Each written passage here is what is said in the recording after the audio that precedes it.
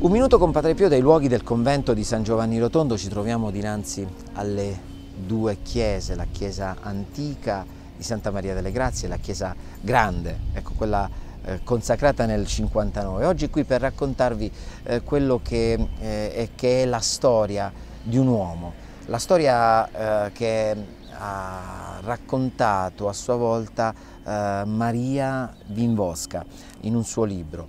Ehm, lei è stata testimone oculare, diretta, eh, che qui eh, sul piazzale di Santa Maria delle Grazie, piazzale della chiesa, della chiesetta antica, perché parliamo solo della chiesetta antica, ehm, avvertì e vide un campanello di persone, proprio così racconta, che stavano ascoltando un uomo che raccontava qualcosa molto animatamente.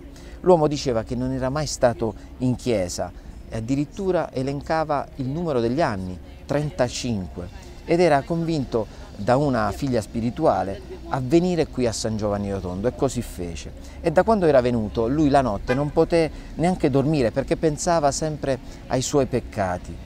Ma lui racconta, li avevo visti così chiaramente, era come una sfilata di peccati, un elenco. Fu svegliato alle due di notte insieme ad altri. Si avviò pure lui alla chiesetta per la Santa Messa. Dopo la messa andò da Padre Pio a confessarsi e appena inginocchiato sentì la testa svuotarsi. Gli era impossibile ricordare tutti i suoi peccati, da dove cominciare? Padre Pio intanto aspettava, poi con molta dolcezza gli disse Coraggio figlio mio, non mi hai detto tutto durante la celebrazione eucaristica, durante la messa, su via mi ha detto tutti i miei peccati. Mi capite, diceva quest'uomo allarmato a tutti, mi ha detto tutti i miei peccati, me li ha elencati tutti lui. Capite?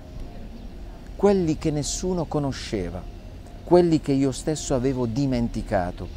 Non dovevo fare altro che dire sì, padre, ho commesso questo peccato.